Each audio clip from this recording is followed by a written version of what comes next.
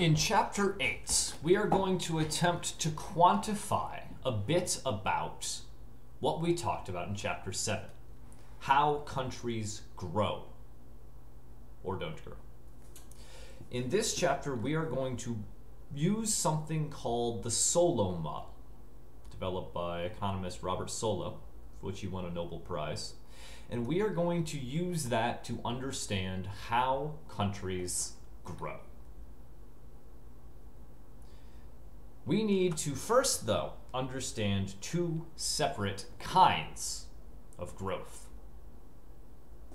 In the year 2010, the US economy grew at a 2.2% rate in terms of GDP per capita.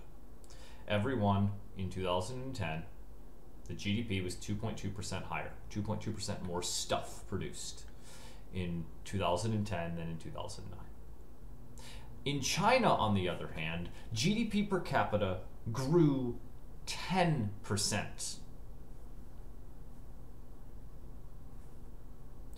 GDP per capita 10% higher than it was in 2009. Why is it that China is growing so much faster than the US? Is China a more functional economy? Is it a better place to live? Will this continue indefinitely? We need to explain the difference between cutting edge growth and catching up growth. The US economy is already one of the most advanced in the world. The US economy already has all of the machines and all of the tractors and toasters and electricity that it really needs. If the US wants to get wealthier, it can't just buy more tractors. It needs to invent new ideas. It needs to invent GPS positioning, drought resistant seeds. It needs to invent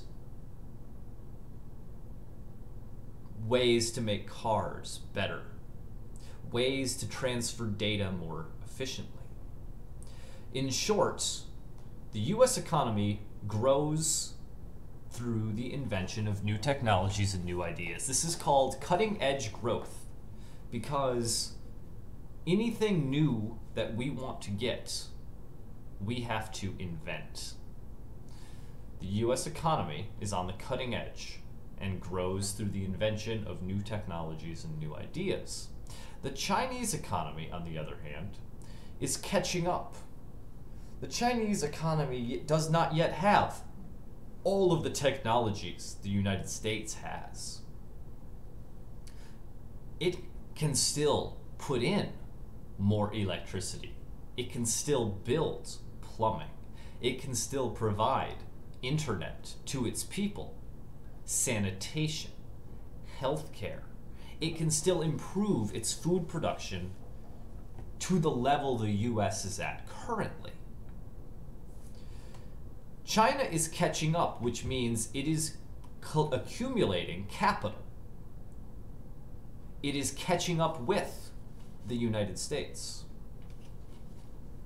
rather than trying to grow on new ideas. It is easier to catch up than it is to grow at the cutting edge. This should make sense because in China, they can just copy the technologies already available in the United States. They don't have to invent the internet again. The internet has already been invented. All China has to do is make it available to its people. They don't need to invent the new medical technologies we have in the US. They just need to make those medical technologies available to their people. This is why China's GDP per capita grows so quickly these days. China is catching up with the US. All right.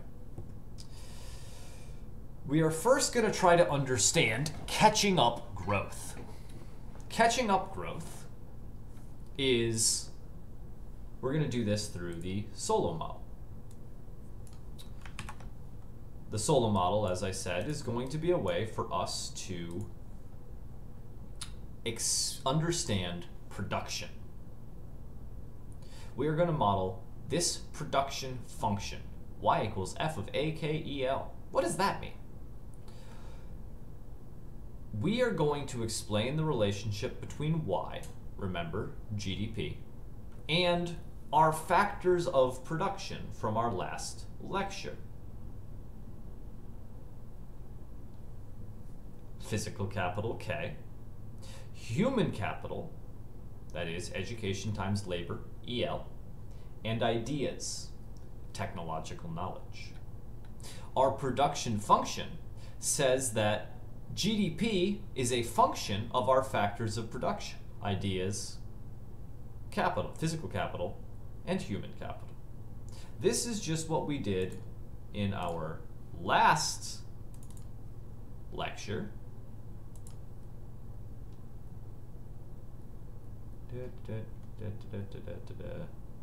Here. GDP is a function of physical capital, human capital, and technology.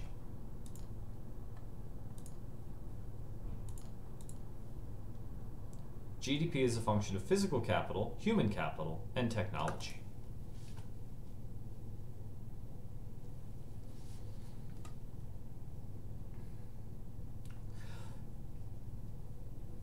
For now, we are going to focus on catching up growth, that is, getting more capital. This, in this example, imagine that all of the farmers in your country only have hoes improving their physical capital would mean just getting them more tractors. You don't have to invent the tractor. You don't have to get more people.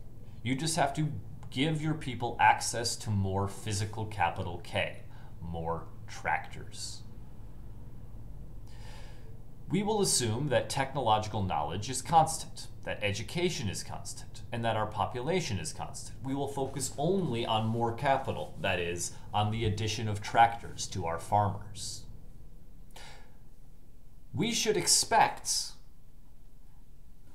that the addition of more capital to our farmers should produce more output. That is, as K increases, Y should increase. As we give our people more tractors, K, they should produce more grain, Y.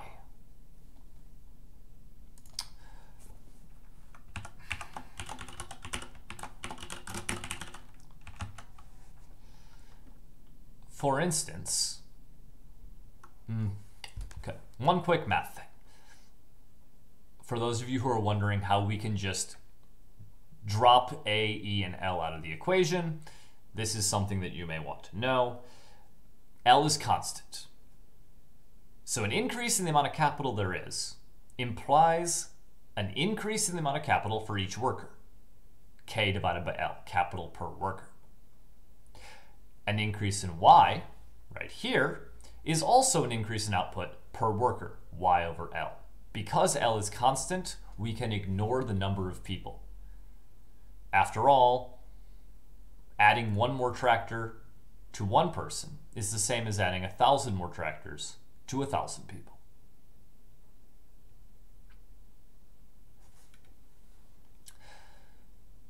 So we'll just do a small example here of output and tractors. Put that in the center of our graph here. And I'm going to flip these two. Tractors and output. With zero tractors, let's say that our, we have a, got five farmers. With zero tractors, maybe they can produce 50 bushels of corn. They have to do it with hoes. When they get one tractor, they put the tractor, tractor goes to the highest valued use, right? You don't use the tractor for hauling children around on tours of your farm when you only have one tractor. You put it to its highest valued use. Perhaps this is planting and harvesting. And now you can produce a thousand bushels of corn with your tractor. If you get a second tractor, well, now you're going to put it to its second highest use.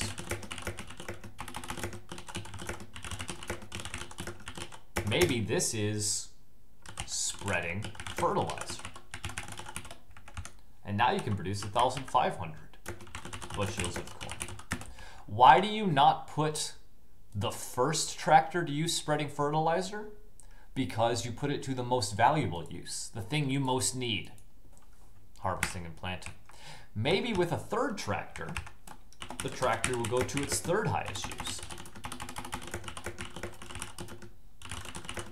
Maybe this is keeping it as a backup in case one of the other two breaks. And having access to that might increase your production to 1,750 bushels.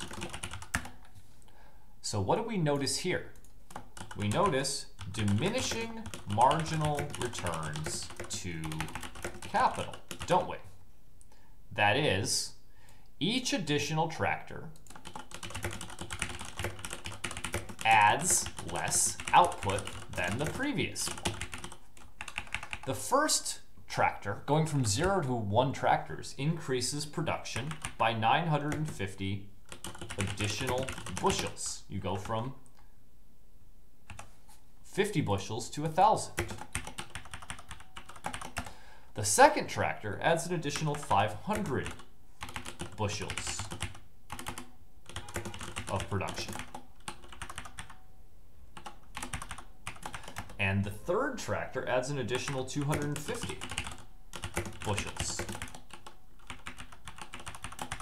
Each additional tractor adds less output than the previous, and this is because we push, put the first tractor to the highest value juice, the second to the second, the third to the third, and so on.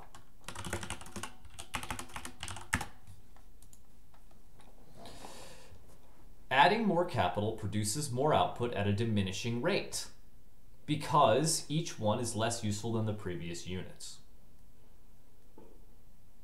This is called the marginal product of capital. How much additional output is caused by the addition of one more unit of capital. The marginal product of our first tractor is 950 bushels of corn. The marginal product of our second tractor is 500 bushels of corn, and the marginal product of our third tractor is 250 bushels of corn. The marginal product of each additional unit of capital diminishes because capital is put to its most valuable uses first. The marginal product diminishes because the first unit of capital is put to use in its most valuable use, the second in its second most valuable use, and so on. Now in this class, we are going to want to consistently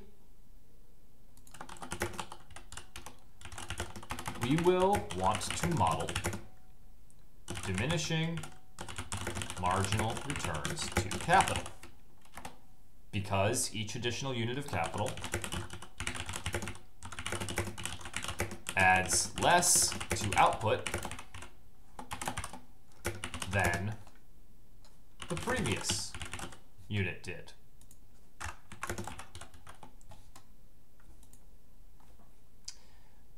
To do that, we will use the simplest diminishing function. y equals the square root of k. What does this look like? Let's put output here.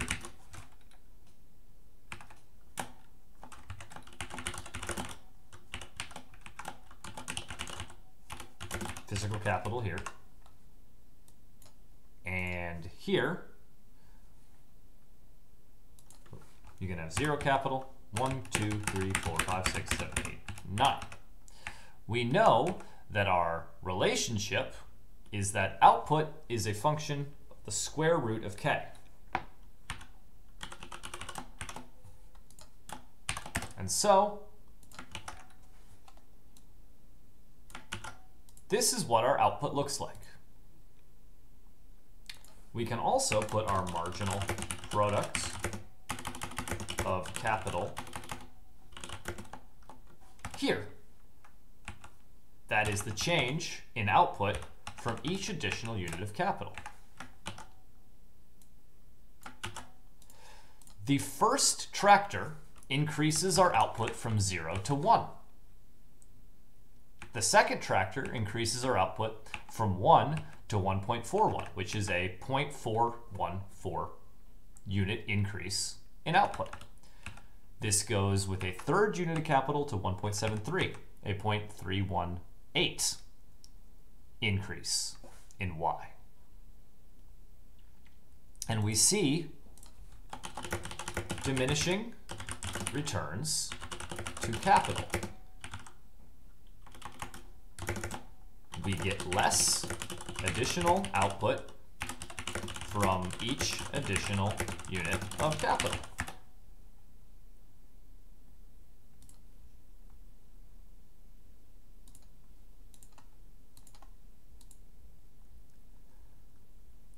To get one unit of output, we need one unit of capital. To get two units of output, we need three more units of capital. To get three units of output, we need five more units of capital.